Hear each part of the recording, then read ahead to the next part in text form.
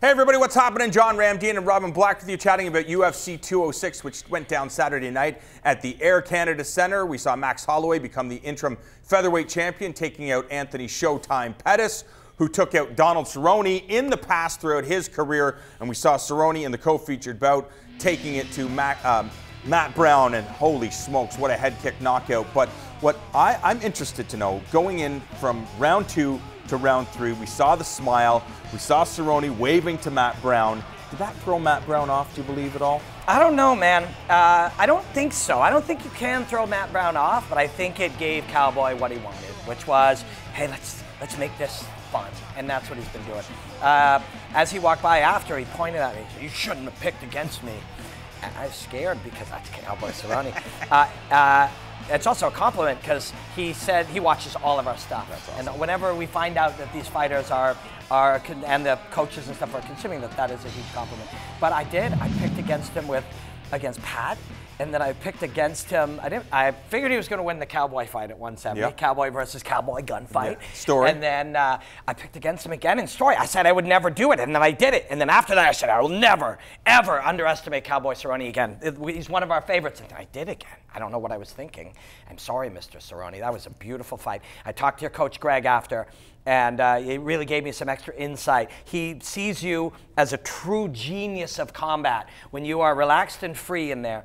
And you are that, sir. It, it, is, it is incredible to watch you fight. And, uh, and Greg also pointed out how Cowboy gets better as he gets in there. The more information, you know, when somebody predicts, you see these weathermen, obviously they don't know what they're talking about two weeks out. Oh, it's going to probably rain next week Friday. And they're wrong, but then they get four days out and they get a little more accurate. It's going to be warm, and then they get two days out, and by 12 hours, they can predict with almost certainty. That's what Cowboy's doing. As, as he gathers more information and gets deeper and deeper into the fight and closer and closer to the storm, he's able to really, he has so much information, he just gets better and better and better. And that was, that was a really fantastic fight. Uh, Matt Brown is a tough dude, and they put on, on any other night, that we'd be talking about that yeah, as the greatest yeah. fight we've ever seen.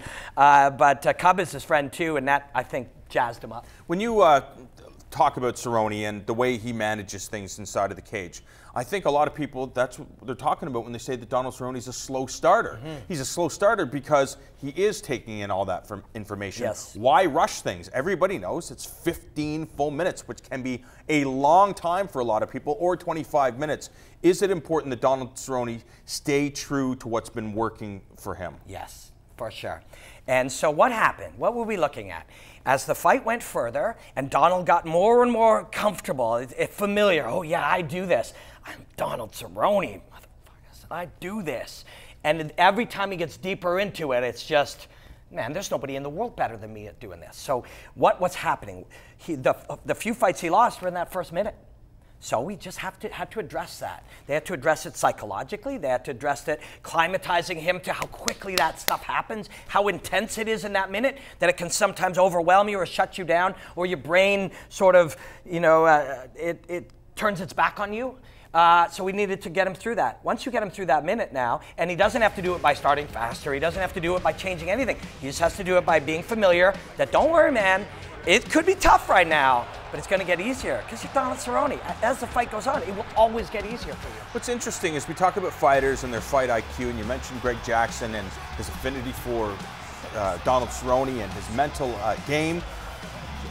Isn't it important? We've heard fighters talk about it's important to not think out, out there, to just go and be free and let things kind of play out the way that's going to play out. That's what that's what they've got him. That's the stage they've got him to, and that's what Greg reminds him, and and the direction he points him in. You're a genius.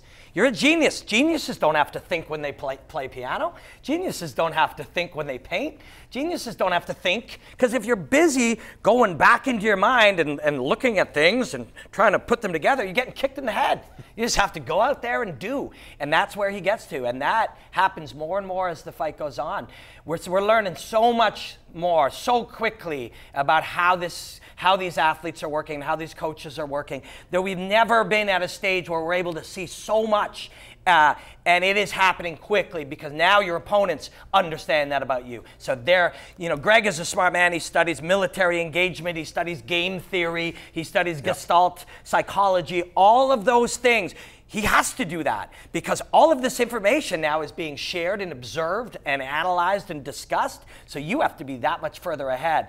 And you know, I'm really pleased the audience gets it. That that Toronto, that ACC in Toronto, Awesome. man, they get it. People understand fighting more than they've ever understood fighting, and we're just scratching the surface. This is the best sport in the world. This is the best art in the world. If you're Donald Cerrone, uh, I had a chance to talk to him, and he's talking about a title shot now.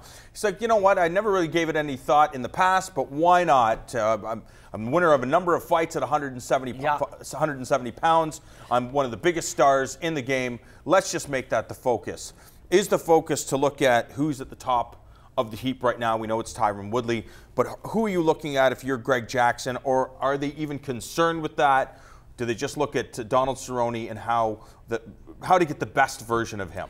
The Max Holloway approach is going to be used by a lot of people. I know uh, Duane and TJ Dillashaw are taking this philosophy as well. It's like we can't control what a company who decides on who gets a belt uh, or a chance at a belt based on how much, how many audience buys something because of how much Twitter does, and you can't control all that crap. What you can control is to knock fools out just one after the other. That's what Max did. Max was like, you know, oh, there's all this Conor talk and there's all this, and I'm, I'd like to get in there and I'm gonna say things, but if that doesn't work, I'll knock the next guy out. I'll knock the next guy out. TJ and Duane were frustrated that they didn't get Dom.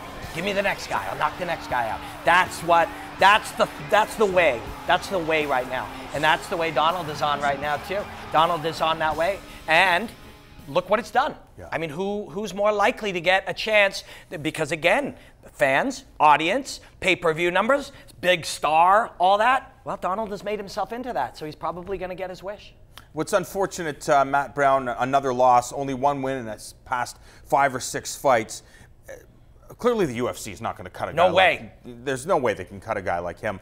But how do you how do you move forward when you when you look at the way things have played out for you? It's like uh, the goal is to be a champion. Most of these fighters talk about being a champion, but uh, can you still have a championship mentality and can you still strive for greatness when you only have one fight, one win in your past five or six? I think so because three fights from now, which could be eight months from now, everyone will have forgotten about that. You're what you're trying to do is is get grow to the, be the best, the best you that's possible. On the way up, that it'd be nice to keep winning as well.